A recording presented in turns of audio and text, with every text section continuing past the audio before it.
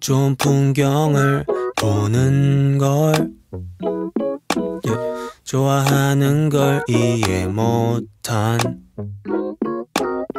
난 너에게 지루한 티를 팍팍 가자고 졸랐다 음.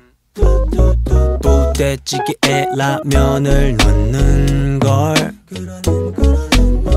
선호하는 널 이해 못한 난 순간 욱해서 얼굴이 시뻘개지고 숨기지도 못했다.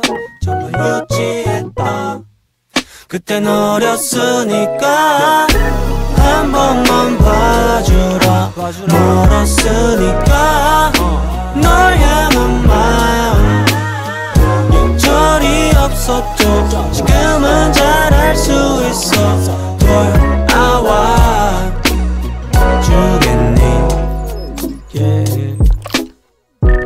귀찮다는 말을 했어.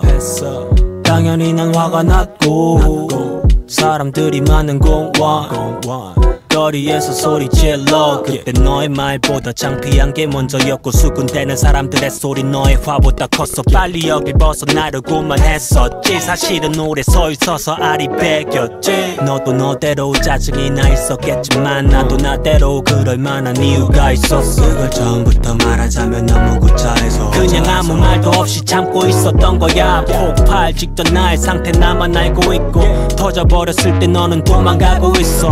아 그건 나의 어린 날의 불장난 내 꾸준히 불을 차. 그땐 어렸으니까 한 번만 봐주라. 멀었으니까 널 향한 마음. 절이 없었죠 지금은 잘할 수 있어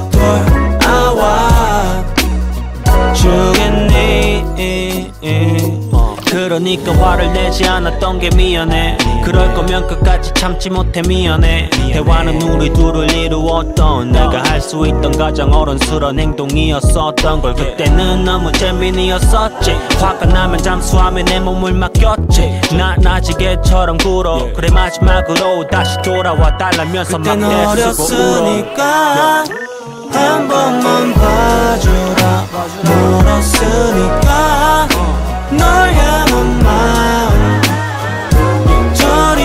절이